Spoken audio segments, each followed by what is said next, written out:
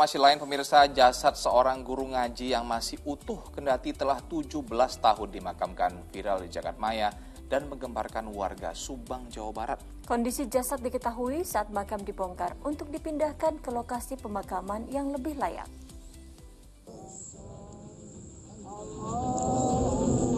Inilah rekaman video yang memperlihatkan proses pemindahan makam almarhum Muhya bin Rudia di Dusun Cikadu, Kecamatan Tanjung Siang, Kabupaten Subang, Jawa Barat Jumat lalu. Kondisi jasad dan kain kafan yang masih utuh setelah belasan tahun dimakamkan menggegerkan warga Subang.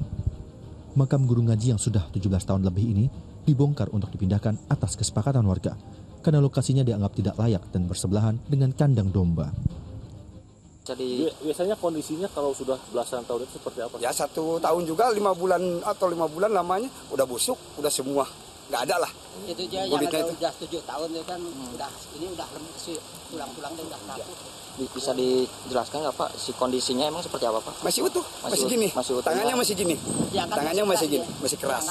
Masih keras. Kulitnya kan. sendiri masih ada betul? Masih ada, kulitnya masih ada. Cuma kering kayak kayak di air keras itulah kayak di air keras itu. Sehariannya almarhum dikenal masyarakat cukup baik. Uh, dia kesehariannya waktunya banyak dihabiskan di masjid dan mengajar ngaji sama anak-anak dari generasi ke generasi dari mulai bapak saya sendiri sampai saya sendiri pernah diguruin ngaji sama almarhum. Saat ini makam almarhum telah dipindahkan ke pemakaman Pasir Naan yang lokasinya tidak jauh dari makam awal. Zena Arifin melaporkan dari Subang, Jawa Barat.